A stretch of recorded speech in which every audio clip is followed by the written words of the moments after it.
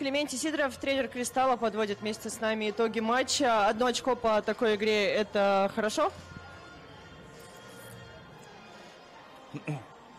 Знаете, матчки уже как-то ну, смысла особого считать, наверное, нету. Должно... Вот еще раз, я знаете, как ты говорил, вот я очень люблю стихотворение у Пастернака, когда вот он заканчивается строчками, что поражение от победы ты сам не должен отличать.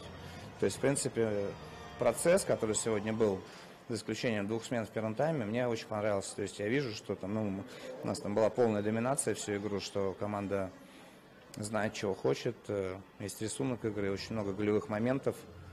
Э, традиционно отмененный гол забитый у нас, конечно. Там по шестую игру подряд. Там бедный Андрю Халькин, если бы его все голы засчитали, он бы уже там больше Асадов забил, больше Кудеева, где-то в тройке был бомбардиров, наверное.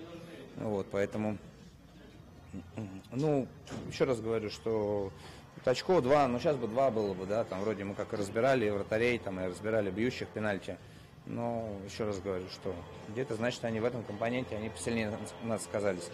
Но это повод работать над этим компонентом, да. Ну, есть еще вещи, про которые мне нельзя говорить. Спасибо.